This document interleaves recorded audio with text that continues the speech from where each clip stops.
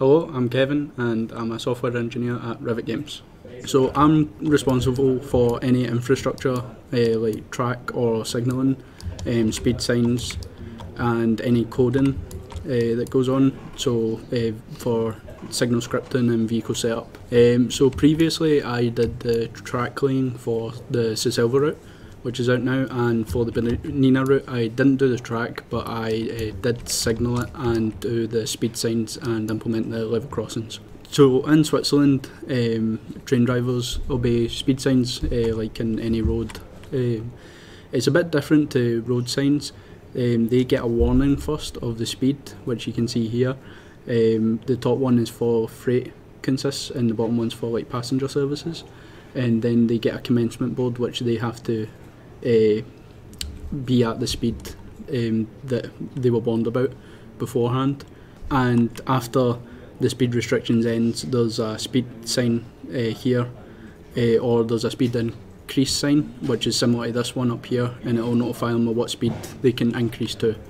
Um, they can only increase to the, the that speed or go back to the speed they were previously at after the back of the consist is uh, past this sign uh, and not the front of the consist. So using the references we have available such as Google Maps we can see um, any kind of like speed increase or speed restrictions. Um, so here we've got a speed increase and you can notice it's an increase by the two black corners on the on the sign. Um, you don't need a warning for an increase in speed because there's no penalty for what um, for increasing too late after the sign. In reality, there isn't actually a start a speed restriction here um, but in the game we've implemented a speed restriction here and this is just due to other references that we have and um, it's just down to like drivers knowledge that they'll know at this point in this curve that they'll slow down but obviously in the game we want the players to know that uh, they have to slow down here so we've implemented a, a speed uh, restriction here so this is the commencement. And oh, if we look further back this is the warning here of it. Um, because this one's made up and we just judge it. But usually you can if the Google data is good you can count the catenary masts uh, back and actually get it fairly accurate in real life. And the speed changes are shown by these green lines if you can see them.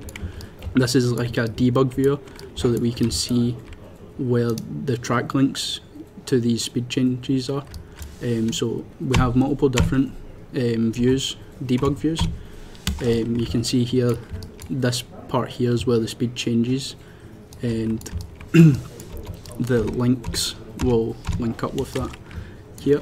Um, you can see like the increase in speed is over here and that reads the track speed data and it pops the numbers onto this sign here um, and this speed commencement is where the player would actually be triggered to change speed. They should be at this this speed uh, that is warned before uh, at that point.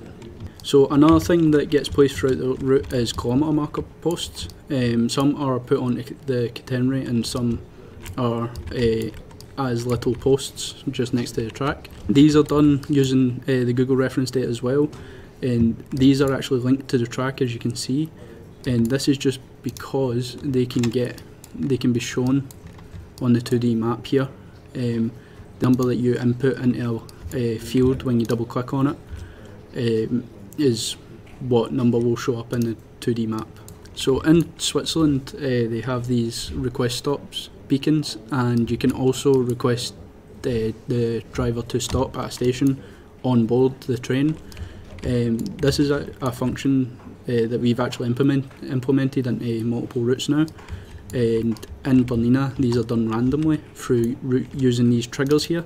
So this marker here is one to light up the beacon and once the train gets into proximity with this uh, track link here um, it will it's got a 1 in 4 chance to trigger this light to turn on um, and that just means that um, like I think it's 300 metres away those lights will come on and the train driver will need to stop at this station here at Campascio. Uh, alternatively, we have another trigger as well on board. So in the cab, uh, the there is a light for uh, the halt signal, and that means that somebody on board the train wants to get off at the next station at Campascio. So if that lights up in the cab, they will have to stop here as well. And this one also has a 1 in 4 chance as well. Unlike Cisalva, um, in Cisalva they were determined. Um, these ones are truly random, so even in quick drive uh, scenarios you can get request stops uh, happening. One of the main parts of my job is to implement the actual signals in the routes.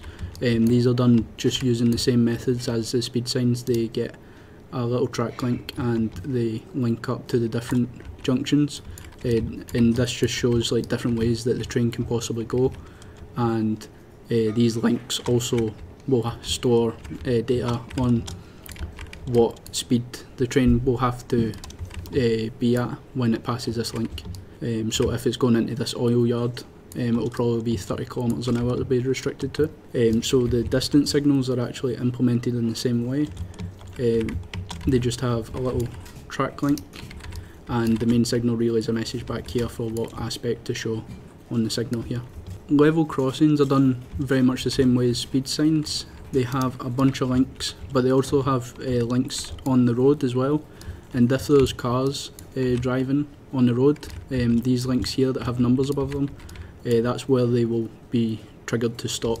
So you generally want to put them just before the barriers. Level crossings also have uh, track links on, and it's the same idea as the request stops, where when the train gets into a certain proximity, it triggers these barrier animations and it turns the flashing lights on for the switch signals. One of the other features is that we actually have Italian level crossings and there's multiple ones here and these had to get specially modelled for, just for this route um, just because it's like a part of uh, Tirano's a part of Italy and these function just a bit differently from the Swiss ones. Um, these flash alternately like the Swiss ones but they uh, play a loud bell noise as well. The Italian level crossings with the barriers also just act the same way only the lights just turn on, they don't flash or alternate and the sound only the sound starts when the barriers are coming down and it stops when the barriers are down. So the level crossings are placed uh, using references like Google Maps. Um, as you can see here, this is just in a, a little urban area in Tirano. Um, we actually have the view here, and it's very much similar to that. We try to place them as accurately as possible and try and get the lengths right on the models. I did work in some of the scenarios, um, particularly this passenger mode that has been in previous um, Swiss routes uh, to do with Thomson Interactive. It's a mixture of scripting and using track links. So as you can see here, the increased speed sign is here and the trigger for the train to increase speed is here and it's just roughly the size of the uh, consist because you don't want the train to increase in speed before this sign as in like in real life you'll get penalised for it and you'll lose points in the game.